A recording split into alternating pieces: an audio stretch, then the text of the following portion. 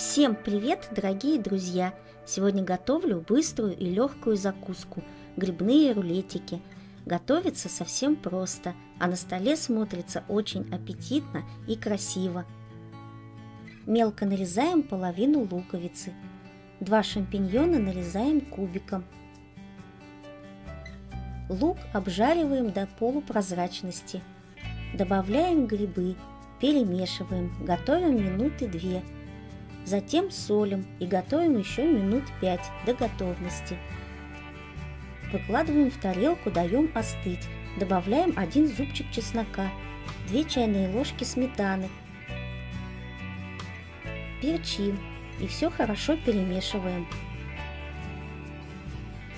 Лаваш или тортилью смазываем майонезом или сметанкой. Выкладываем нашу начинку – по желанию можно добавить тертый сыр и аккуратно закручиваем в трубочку.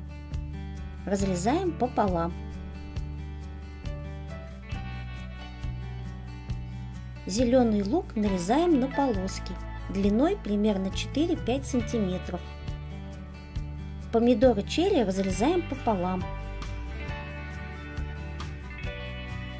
Втыкаем в рулеты зубочистку Теперь нанизываем зеленый лук, украшаем сверху половинкой помидора. Получается вот такая красота. Наши рулетики готовы, можно подавать к столу. Смотрится такая закуска просто великолепно.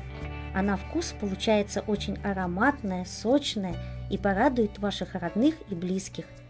Кому понравился рецепт, ставьте лайки.